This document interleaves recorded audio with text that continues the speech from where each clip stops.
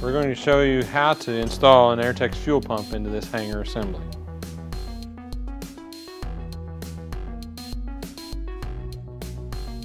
Here we have a fuel pump hanger assembly.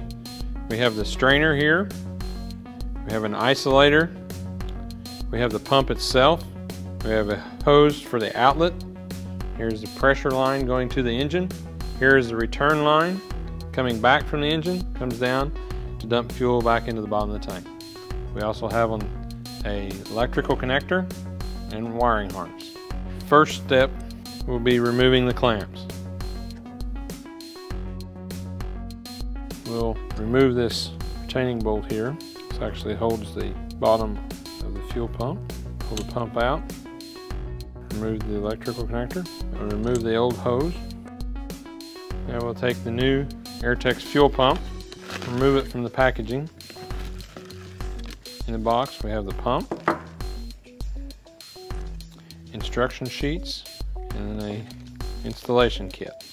In the installation packet with the pump we have an isolator bushing, two hose clamps, a length of fuel hose, a O-ring, and a fuel strainer retainer clip. I'm going to take the isolator and we'll install it onto the hanger assembly. You'll notice that there are alignment tabs to align it. Now we'll install the hose on the hanger assembly. It is recommended that we install a new fuel strainer. You'll notice on the bottom of the pump there's an alignment pin. This is a pressed fit. We'll push that on and then we have a retainer clip that goes on to keep the fuel strainer on. Handy to take a small socket and force it on. Connect the electrical connector. Make sure that your clamps are on the hose and we'll slide the pump into the hose.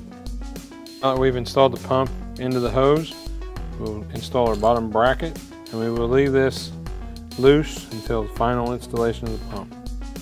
Now we will slide the pump over into position. One key that we want to remember is on the bottom of the pump is some locating tabs they need to set into the bracket. Now that we get the pump into location and slid down slightly, we will go ahead and tighten the bottom bracket. Once it's in the bracket, need to be sure and slide the hose to where it is seated on the top of the pump and the bottom of the pump assembly is setting flat. Now we tighten the clamps now we're ready to install the hanger assembly with the new Airtex fuel pump back into the fuel tank.